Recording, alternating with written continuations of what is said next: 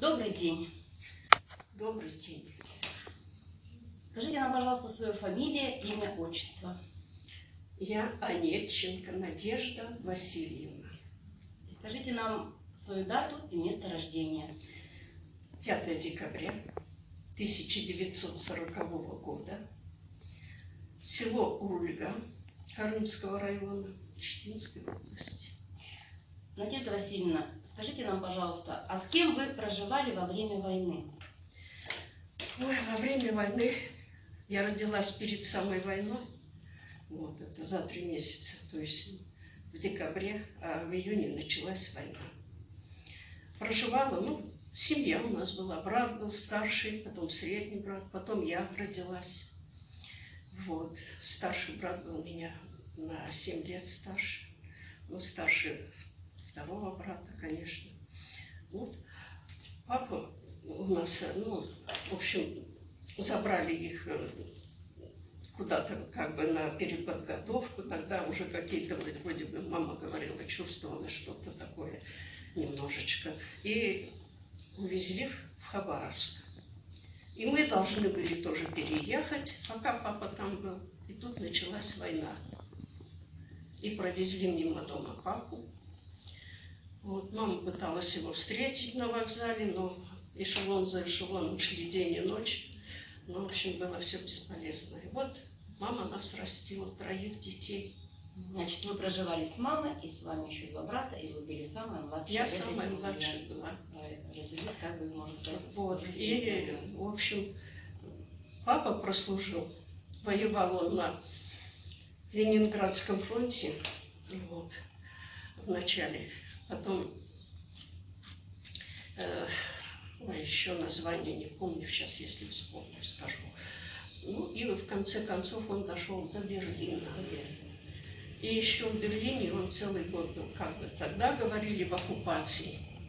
Ну, не знаю как. Но когда папа вернулся с фронта, я уже это помню. Да вам сколько лет было? Мне уже было шестой год. Шестой год. Да, шесть, наверное.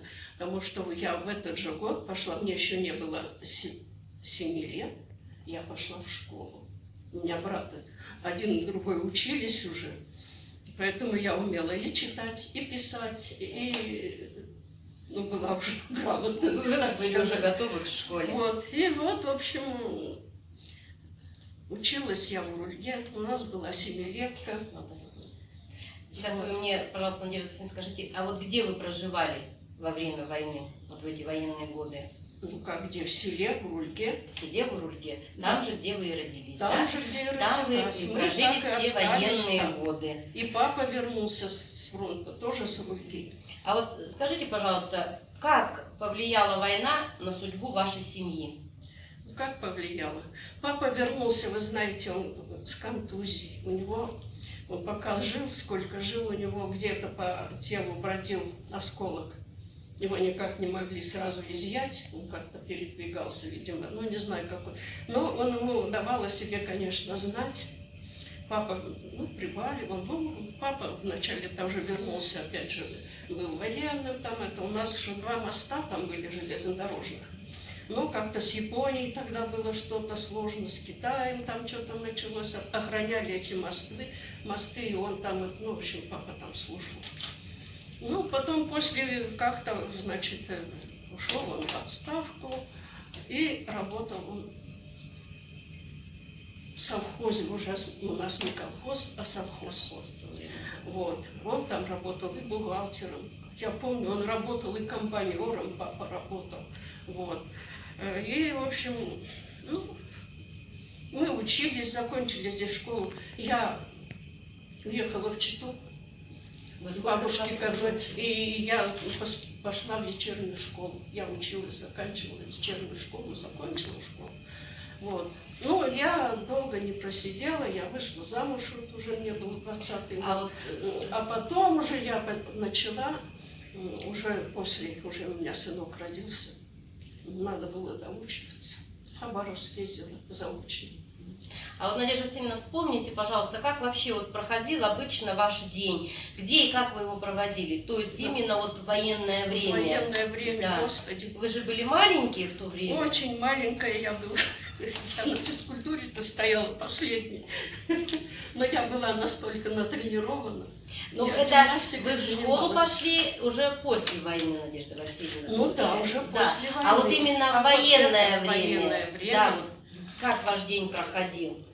Вот, Где вы ну были? что, где? Мы дома жили. Дома Садики находились. закрылись. Дома пришла беда, обворовали все до ниточки.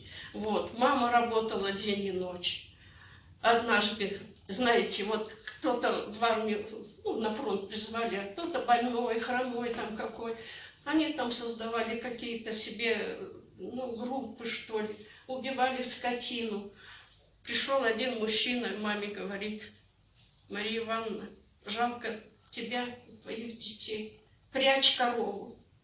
Куда спрятать корову? Вы держали корову, Мы да, держали, она держала. Накосит сено, увезут, она мешками носила на себе сено, чтобы прокормить эту корову как-то. Картошку выкопали, вот, еще не выкопали, начинали копать. Она на работе картошку кто-то выберет всю. Мы без картошки. А вот, Надежда Васильевна, ну, вот, то, что вы сейчас рассказываете, вот э, он бы как бы предполагает, вот следующий мой такой вопрос, что э, расскажите какой-нибудь эпизод из детства, то есть воспоминания из военного или послевоенного времени. Ну вот вы сейчас вот уже даже затронули, да, эту тему немножко, вот, что вас обворовали, как вам было трудно, Как может трудно. еще что-то? Вот, да я еще хочу рассказать. У нас, значит, э, ну, наш дом, потом огород, и там соседи жили. Я помню Дубинины, была тетя Наташа. Вот в детстве запоминаются как-то лучше те, или уже мы старые стали, памяти-то плохие у нас у всех. Теперь, значит, у нас вот так в стеклинке отодвигалась стеклинка. И она, значит, эта тетя Наташа приносила вот меня память, реликвии, у меня военная есть вот такая вот э, чашечка небольшая, знаете, грубого такого, значит, изделия, как бы, ну вот как сейчас делают э, эти посуду-то, не глиняную, ну, типа этой, но белым покрашена, звездочка там синяя. Она мне, вот мне вот в этой чашечке суп подавала, тетя Наташа. Голодные Кормили вас. сидели, подкармливали соседи. Вот. Миша ходил на, ры- на рыбалку. Миша, это Старший. кто? Это старший ваш Да, брат? да. Вот. Витя у нас три года не ходил в детстве, потом стал ходить, и вырос парень так как такой красавец парень. Вообще волнистые волосы, кудрявый, стройный. Вот. Ну и вот, э, и понимаете, Миша кормил нас, то утку подстрелит, то рыбку наловит. Вот. И мама прятала ружье, у нас был дробовичок небольшой, значит, ну, она куда только не закапывала. Чтобы И он не ходил чтобы на он не охоту, ходил да? на охоту, потому что все промышляли, что ты, не дай бог, кого-то убьешь. Ведь он все равно Ну, вот находил, находил и, И, и, все равно нас ходил на охоту. Ну, вот и оно как вот уже когда даже... за грибами сходит, когда за ягодой. Вот э, маме некогда было с нами. Я помню один случай. Мама, мне было, наверное, тогда лет пять. Еще папы не было дома.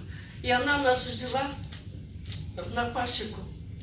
Будет дедушка, у нас был Тригубенко. Дедушка будет качать мед. Он там был пасечником. Вы знаете, он там много нас детей привезли, ну, сколько работали, а мои там, мама там работала работала этой там. пасеки, их возили 14 километров от дома, пасека была. И вот взяли нас, детей, я помню, большую такую чашку поставил дедушка, налил коричневый-коричневый мед. А хлеб, булку, он не резал, он на так разломал На куски. и всем положил по куску, говорит, вот так макайте и ешьте. Вот это жизнь. Ну, вот, Надежда Васильевна, ну вот, э, значит, из чего же вот ваш рацион питания это состоял в то время? А чего?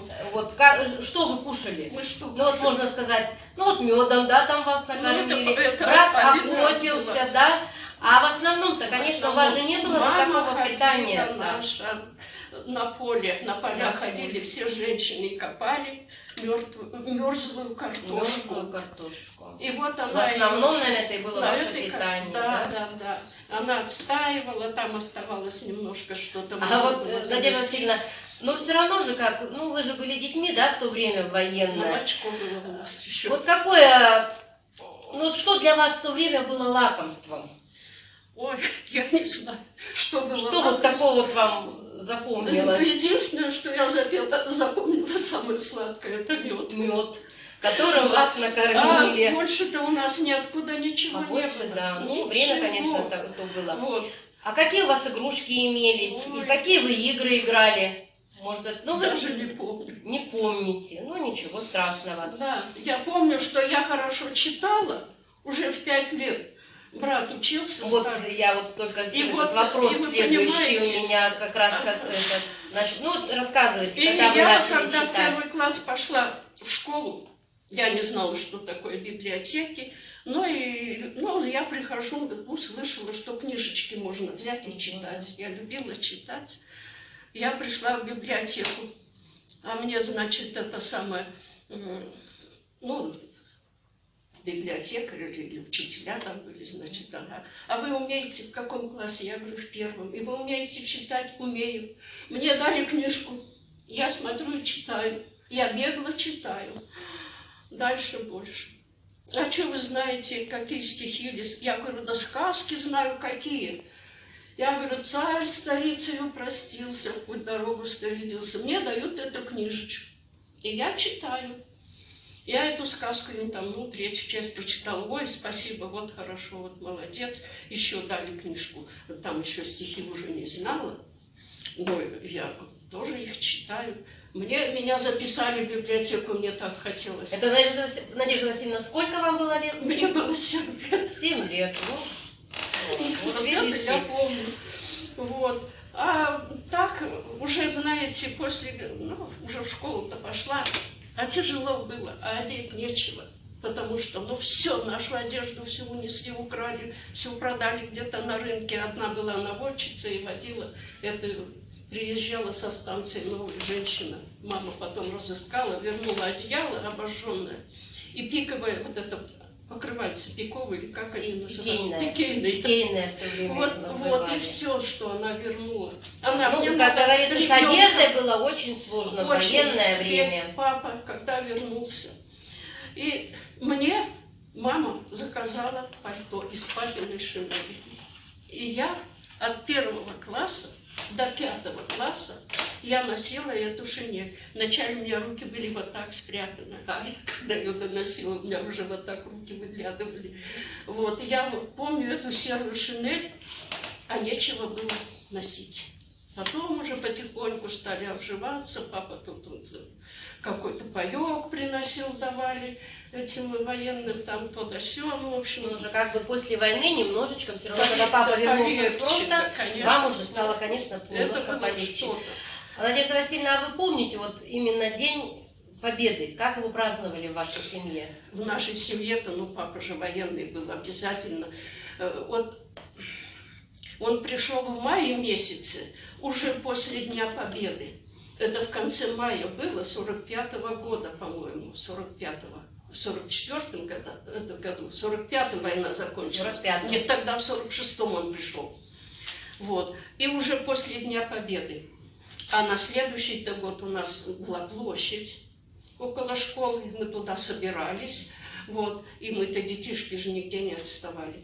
Э, Ну, я помню, папа выступал, там много вот. Ну, кто-то вернулся, кто-то не вернулся. И радость была, и горе было всех, в семьях. Ну, не зря говорят, это радость со слезами на Да, глазах. да, да. И вот э, А вот, э, Надежда Васильевна, но у вас создалось такое ощущение, что после победы вам стало легче жить и в, в плане материальном, и в бытовом ну, плане? естественно. Естественно, у нас же да, стало полегче. Особенно, Ну, когда папа- вернулся папа. появился. Это уже, Мы же конечно, была не большая помнили, и не помощь. знали. Ну, ну, Ну, вы-то, конечно, не братики-то- помнили, если вы помнили, родились, можно сказать, накануне войны. Вот. А так э, было месяц. слишком было тяжело в войну. Мама приходит и опять говорит, ой, вот у тех-то.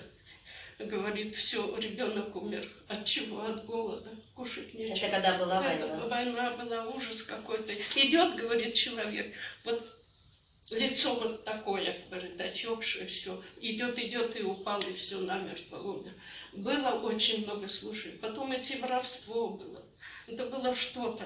Э, Ну, Но все равно Пережили. много вы помните, конечно, Помню, помню, хоть помню. вы и не сказать, что да, были слишком взрослыми, но вам было 5-6 лет уже как бы к концу да, войны, и воспоминания-то, конечно, у вас остались. Мгм. Было очень трудно, было очень тяжело. Но вы выстояли, выжили, да? Надежда Васильевна, а вот, вот что бы вы сейчас пожелали нашему подрастающему поколению? Ой, я даже не знаю, что пожелать. Э, Очень сложный какой-то вот момент идет в нашей жизни. Почему-то дети как-то деградировали от всего. Их не интересует. Я смотрю, я удивляюсь. Вот. Или уж мы так это вот воспитаны на этих слезах или что, я не знаю, их ничего не трогает.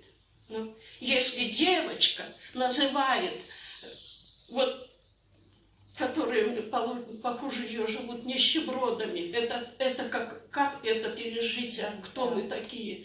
Ну, ну уж сейчас-то я не скажу, что мы нищеброды. Вот войну-то мы были нищеброды. Да, война. А сейчас- война. Но там в то же время Вот. все равно жили-то как бы... Ну, дети-то, конечно, сейчас техника куда пришла. Люди все, вот дети все с компьютерами, все работают, все, все умеют, все знают. Мне сейчас дайте я от него отказалась, я покупала и продала в Астрахани компьютер свой, потому что я не смогла, у меня давление. Я посидела и пришла вот с такой головой за 200 Ну, можно рублей. сделать вывод, Ну, наверное, такой, Надежда Васильевна, так что у нас что- мало стало человеческого общения. Не знаю, и общение-то... Ну вот, ну еще взять нашу группу вот эту, я сейчас тоже перестала ходить, потому что то не здоровится, то еще что-то. Э, Но все равно мы общаемся, вот старушки. А молодежь-то нет. Я смотрю, у нас был коронавирус. Бесконечно горит свет в этом, в кафе, в ну, у нас кафе-бар. Бесконечно там пляшут, танцуют. Молодежь занята только собой. Развлекаются. Вот, они сыты, одеты, они все в золоте. Э, Ну, Ну, да, им, конечно, не понять того, что пережили вы, Нет, это- когда вы были ребенком, вот именно в, эти годы войны. Мне сейчас уже 80 доходит вот, в декабре. Поэтому и Я почему с вами и беседуем, что тем более этот год у нас объявлен годом памяти и славы, 75 лет победы в этом году у нас мы отмечаем. Ну, огромное вам спасибо, Надежда Васильевна, что вы к нам пришли, рассказали о своей жизни в те годы. Да, И, конечно, мы вам желаем еще здоровья, здоровья и еще раз здоровья. спасибо, спасибо. Я думаю, что, конечно, еще хочу пожить. Ну, если обязательно. сложится мое вот это, чтоб я бы чтоб спокойно жила. У меня нет здесь спокойствия. Мне очень сложно здесь жить. Добрый день. Скажите нам, пожалуйста, свою фамилию, имя и отчество. Я Абалмасова Евдокия Иннокентьевна. А ваша дата и место рождения? Мгм. 1936, 22 июня, а, Дровяная, станция Дровяная. Евдокия Иннокентьевна, расскажите нам, пожалуйста, с кем вы проживали во время войны? Во время войны я проживала в семье, а, мать, братья, сестры и отец. Сколько у вас было братьев, сестер? Так, три, четыре брата, три сестры. У вас была очень многодетная, Многодетная семья. семья. Мать домохозяйка, была, отец работал. Отец работал. А где вы проживали в военные годы, В военные годы, в начале войны мы переехали в город Хилок. И вы всю войну И всю войну, и после войны мы проживали, проживали в городе Хилок. А вот э, расскажите нам, пожалуйста, как повлияла война на судьбу вашей семьи? Ну, можно сказать, что несмотря на военное лихолетие, э, э, мы, ребятишки, все учились, школы не закрывались. И посещали, хотя было очень холодно в школе, дров почти не было, мы были одеты, кто в чем, и учились. А на нашей улице была начальная школа номер 82, а затем мы перешли в школу среднюю на поселок Остров, школа номер один. А вот вообще, как проходил ваш обычный день, Евдокия Иннокентьевна, вот в это Ну, время? наш обычный день проходил, наверное, как и во, все- во всех семьях, но я, на- насколько помню, а, на нашей улице Во-первых, утром мама вставала раньше всех, затапливала печь, потому что никакого другого отопления в то время вообще не было, пожалуй, везде. Затапливала печь, ставила чай, и э, если была картошка, варила картошку. Если нет, значит чай, ну и там, может, что-нибудь. И готовила завтрак, который состоял из маленьких кусочков хлеба. А, э, вот расскажите, пожалуйста, какой-нибудь эпизод из детства, то есть воспоминания ваши из военного и послевоенного времени. Ну вот такой, может, какой-то был случай, или вот, вот именно прям вот он вам запал в душу, вот до сих пор вот вы его Ну, помните. Во-первых, м, э, когда началась война, то э, ну, мы, мне было пять лет, ровно пять лет, 22 июня 41 года началась война. Э, Чтобы там вот там собрания какие-то, это я не помню. Но помню, что почему-то изменились лица соседей, соседок, какие-то м, сосредоточенные, строгие, такие утомленные, озабоченные, какие-то как будто люди, ну, недоброжелательные, потому что война забирали уже на фронт, мы не особо понимали, но чувствовалось изменение отношения людей, какие-то строгость какая-то, озабоченность такая была э, в годы войны. Ну и так, можно сказать, э, без э, особых веселий проходили военные годы. А нередко можно было, ну не только на улице, но и там где-то слышать такой плач женщин. Наверное, я сейчас как думаю, приходили похоронки, и э- это была трагедия для семьи, но и для, для всех. Это вот то, что вам запомнилось, да, Это военное запомню, что время. Это военное такое, как бы, тяжелое. И запомнилось, что все время мы все хотели есть.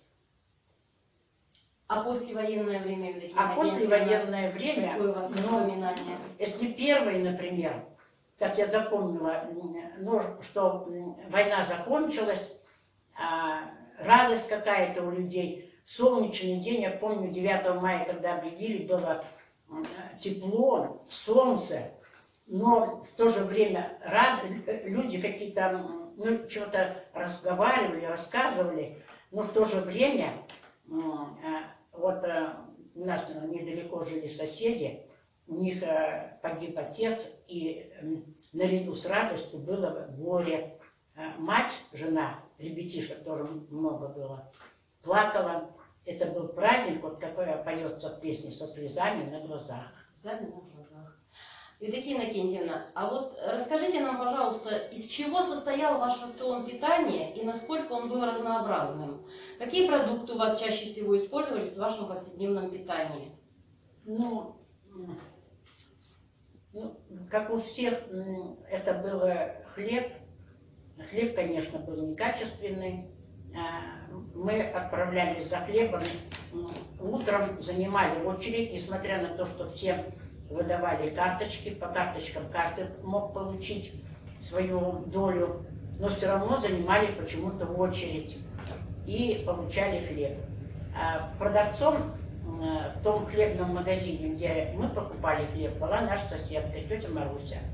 И когда мы приходили, ну, кто-то из детей, чаще всего дети ходили, она всегда так э, взвешивала хлеб, чтобы оставлялся крохотный кусочек хлеба, называемый довесок. Ну, можно было, кто съедал, кто приносил, кто отламывал кусочек. Черный хлеб. Вот хлеб, причем не просто, как у нас сейчас на столе, в хлебнице лежат кусочки хлеба. А хлеб, э, мама резала хлеб, каждому по кусочку. Ну и, конечно, мы замечали, что даже иногда э, на, на ее месте хлеба не было. Ну, как-то мы То есть мама делила весь хлеб на только на детей. на детей, да. Но еще, когда была и картошка, в то время были почему-то неурожайные годы, и надо было все сдавать еще. Это обязательно было. А потом у нас э, появилась корова. Каким образом, я не знаю. То есть как ее приобрели. Наверное, обменяли на что-то. И мы все это, ну, просто любили эту корову, потому что было молоко, немножко, надо было часть э, сдавать там масло, э, рабочие работали вот эм, на железной дороге, там помогали.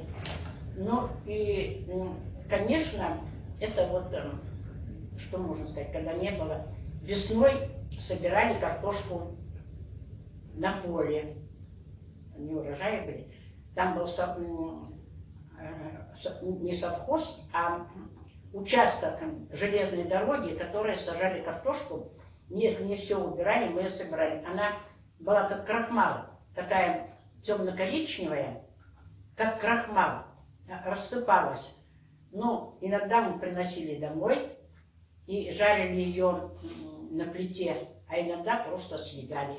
Нам казалось, что это очень вкусно. А вот, Евдокия Кентина, а что для вас было вот самым лакомством в годы войны? Я что даже... вы такого вкусного кушали Я, в то время? Мы, наверное, ничего вкусного не ели. А вот эти все, как, как и все дети. Корешки, там, багульник, цвет, вот эти э, от елки ели э, эти листочки, ну и все, выкапывали саранки. Но самым э, вкусным, сладким, когда мы учились, вот последний год войны, последний, наверное, год войны, несмотря на то, что было трудно, в школе давали маленький кусочек хлеба, ну, может, граммов 30, и на эти, на листочки немножко сыпали сахара. Чай заваренный там на морковке, свекле, и прямо рассыпали немножко сахара. Ну, мы его с удовольствием так пальцем э, макали чуть-чуть и ели. Вот, видите, Немножко, вот это было, да, самое главное лакомство да, у вас вот рассып, рассыпчатый такой маленький, маленькая щепеточка это сахара. А вот, Евдокия Накентьевна, а какие игрушки у вас имелись в, в то время? И в какие игры вы играли, например, со своими сверстниками? Но, несмотря на военное лихолетие, голод, мы все равно э, играли. Но играли, конечно, войнушку, в то время все дети играли, прятались, где-то кто-то наступал. Конечно, никто не хотел быть немцами, но мы э, вытягивали так, считали считалками, кому попадало, те были как враги. Они, они э, наступали, нападали. У нас были деревянные такие, ну как бы автоматы. Это Де- можно деревя... было сказать, ваши игрушки были, да, да, в то время? деревянные автоматы, пистолет, ну что-то что такое. И мы врагов, ну в то время часто от родителей слышали, ну и от взрослых, слово «Гитлер». Поэтому всех врагов мы называли Гитлеры во множественном числе. Не немцы, да, а Гитлеры. Гитлеры. Они нам вот какими-то страшными казались, э, Гитлеры. И еще мы играли, ходили на ходулях. Но ходули – это длинные палки, прибитые брусочки. На них надо было встать на обувь и ходить по улице кто дольше, кто а, вот, э, не упадет и пройдет. Ну и, конечно, игры прятки там, догонялки. Но все равно играли. Хотя времени было мало и как-то забывалось о голоде. А вот, Евдокия Накентьевна, вот в то время военное, у вас были условия для занятия спортом или каким-либо творчеством? Нет, для занятий спортом и творчеством не было. Может быть, не было, хотя время-то, конечно, было. Мы занимались вот в начальной школе, и там было четыре комнаты, четыре как класса. И учились, ну, все время у меня в памяти остается холод. Холодно. Кто надет в таких курточках, куфаечках, на ногах непонятно что. Наша учительница Любовь Сергеевна Луцкина, я ее запомнила, у нее была такая небольшая даха, коротенькая, и все время она тоже мерзла, и руки, э, руки прятала ну, под, под воротник, чтобы можно было как-то согреть. согреть. Ну и, конечно, ну, на перемене, я помню, иногда мы в четвертом классе уже, э, ну, может, чтобы разогреться. А коридор был, как вот здесь, вот в этой же школе. Мы делились на две группы, это постарше, вот четвертый класс, и пели песню, а мы просто сеяли. Ну и там все равно, да? А в каком возрасте вы начали читать Евдокия Никитина? Ну, читать, ну, наверное, как ну, в первый класс э, пошла. И э, хотя и книг не было, я как помню, мы э, какую-то книгу, наверное, чтение просто передавали, чтобы даже посмотреть картинку, буквы, ну, по очереди, по рядам друг другу передавали, а учительница рассказывала нам содержание. Но каким-то образом у нас в доме, потом я узнала, что это родственники, и когда переехали, у них было много книг. И они нам часть книг отдали. Они у нас хранились на вышке. И вот я там нашла книжку э, «Девочка из города». Автора сейчас вспомню. Там рассказано было, как, от, как шли беженцы, и в одной деревне девочка без матери отца, там, с незнакомыми людьми, ее люди, к которым они зашли, оставили. Она была очень худенькая, рисунок такой, бледненькая. Как она привыкала, как она впервые назвала эту женщину мама. Я ее перечитывала, наверное, сотни раз. Это вот Книга Воронкова, автор Воронкова, да. девочка из города. Вот эта книга вам запомнилась, да, да которую вы читали да, именно да, во время я... войны. Да. Ну, как из вашего разговора мы поняли, что вы учились в военное время, да, в школу да, ходили. Да, да, да. А вот, Евдокия Иннокентьевна, скажите, пожалуйста, какой был ваш любимый предмет в школе? Ой, можно сказать, мы одинаково. Там не было, чтобы развеселиться.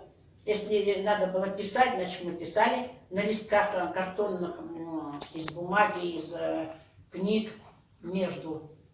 А, ну, если надо было читать, мы читали. И вот я, я говорю, что книжку там мы с удовольствием рассматривали. Наверное, чтение было.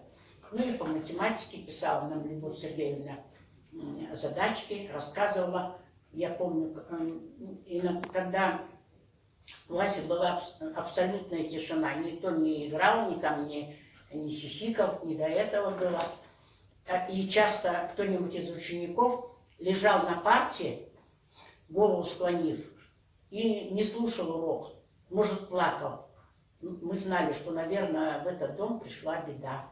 А однажды наша учительница Любовь Сергеевна тоже пришла на урок, дала нам задание э, какое-то, наверное, может решать, и стояла у окна, около стола учительского. И э, такие, такой взгляд у него был отрешенный.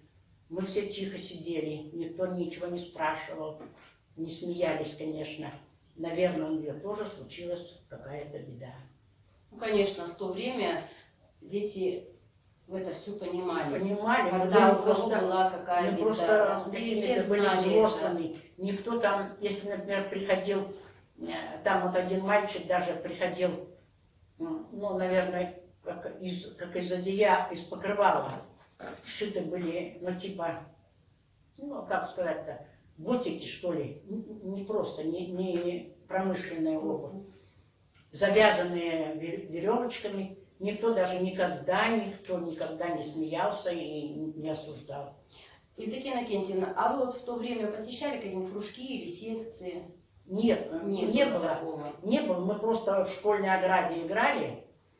Ну как-то, ну, это, я, я так представляю, наверное, это была физкультура, потому что мы игры там играли, какие-то упражнения. Наверное, это были уроки физкультуры. Ну а как вот сейчас дополнительно, да, вот у нас сейчас Нет, есть тогда не было. Наверное, такого не наверное, было. учителей-то, может, недостаточно было. Евдокия Никитина, вспомните, пожалуйста, какая была у вас одежда и Приобретали ли вы ее в магазинах или вам ее шили родители самостоятельно? Вот как вообще вы одевались в военное время? Ну, Во что? Как?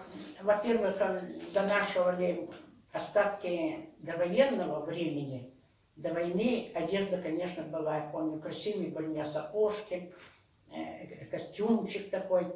Донашивали, а потом уже перешивали из, из э, взрослой одежды, из брюк, из маминых там, может, э, юбок.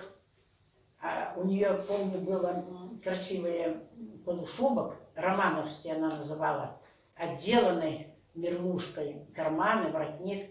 Она его нам разрезала, сшила, типа тапочек таких, чтобы нам тепло было, чтобы мы бегали. А летом, начиная с весны до осени, все ходили босиком. Все ходили босиком. Все ходили босиком по лужам. А если на речку купаться, если, например, грядки полоть, в магазин, все ходили босиком. А, Евдокия Никитина, а вы в то время участвовали в трудовом фронте?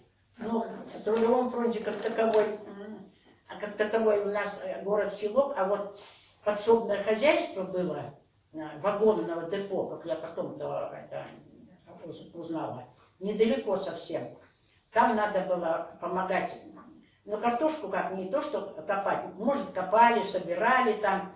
А, и помню, однажды нужно было им, это была осень, наверное, август или сентябрь, косили сено и собирали население помочь косить и э, ну, собирать сено.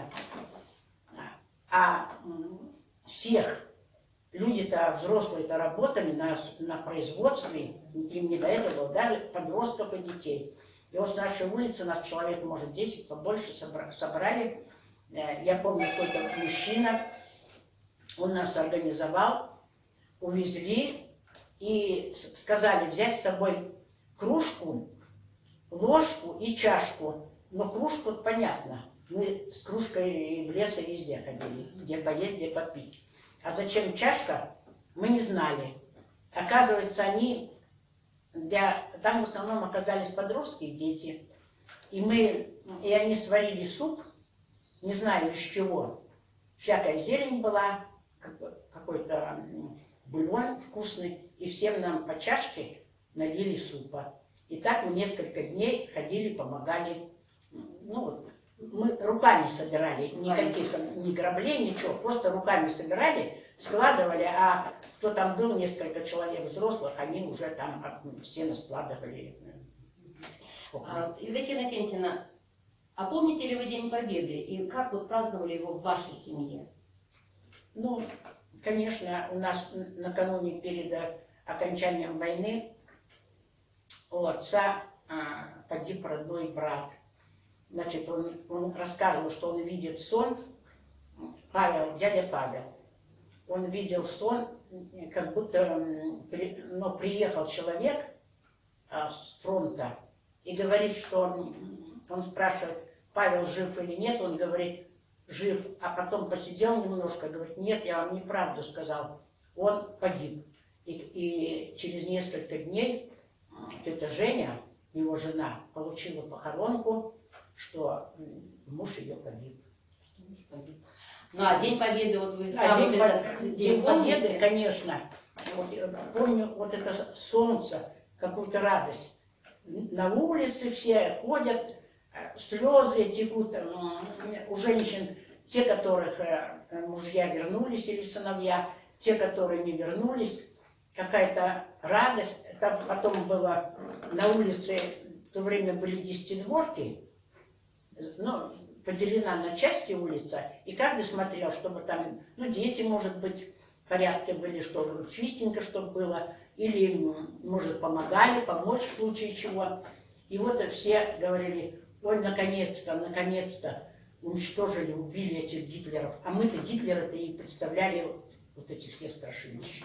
А вот, Евдокия Никитина, а создалось ли у вас вот такое ощущение, что после победы вам ну, легче стало, что в материальном и в бытовом плане?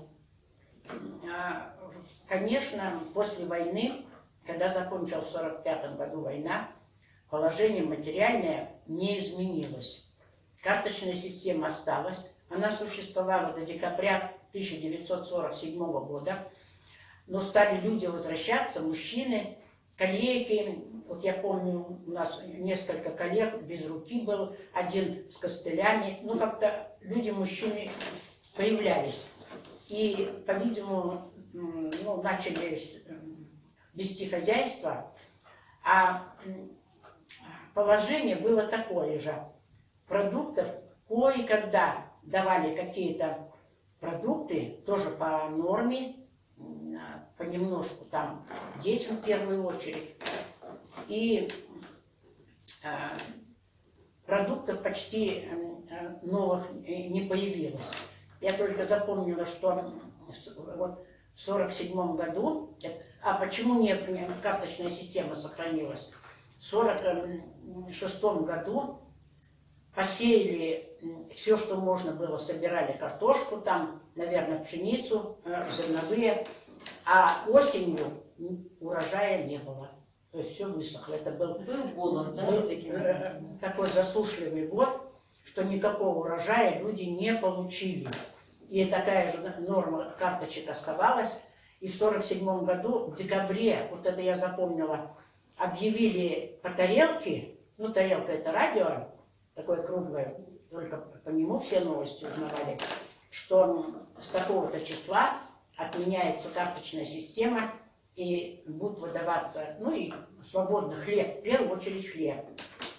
Мы э, занимали, все люди занимали очередь, но когда привозили хлеб, очередь нарушалась, кто посильнее был, они, конечно, продвигались. Мы ходили с братом Колей, он старше меня, такой пронырливый был, пролезет там между взрослыми, купит булку хлеба. Давали булку хлеба в руки. Может, удавалось вторую булку. Хлеб был в основном, вот первый хлеб был из кукурузной муки. Э, По-видимому, с запада не урожай был, с запада везли кукурузу, пекли хлеб, и такой был желтый, я запомнила, вкусный хлеб, э, вот первый бескарточный хлеб. А вот э, скажите, пожалуйста, вот как сказалась победа на ваших возможностях в организации досуга? То есть, ну, например, пионерские лагеря, там, может, библиотеки вы стали посещать, или куда-то, может, в клуб выходить стали. Вот это вот было уже после Ну, ну победы? да, у нас там в поселке, это Ямаровский поселок, был клуб, а, ходили там танцевальные, были хоровое, что-то вот я помню, хор, ходили, и как бы уже организация была какая-то. Но спортом э, вот до более поздних времен я не не занималась. Но занимались хорошо физкультурой в школе, когда мы перешли в школу номер один. У нас классным руководителем был Иван Ефимович Чегров, участник войны, офицер, э, орденоносец. Он ходил в форме с наградами и все нам рассказывал. Классные часы были посвящены рассказам о войне. И мы столько узнавали интересного. Сидим, э, на него смотрим, как и представляем, как он этих Гитлеров убивал. А вот, Евдокия Накинина, что бы вы сейчас вот пожелали нашему подрастающему поколению? Ну, прежде всего, конечно, стремление к учебе. Я хочу сказать, что послевоенные дети очень, очень тщательно и целеустремленно учились. Очень хотели учиться. Никаких срывов там уроков или невыученных, или нарушений не было. Почему-то все хотели учиться, учиться. И так до, более старших времен. Во-первых, стремление к учебе. Учеба знаний никогда не помешает. Во-вторых, более человечные такие отношения между собой и по отношению к старшим людям. Мы прямо, мы прям благоговели перед старшими участниками войны, они нам какими-то казались рыцарями прямо. ну, мы благодарим вас за ваши содержательные ответы. И большое вам спасибо.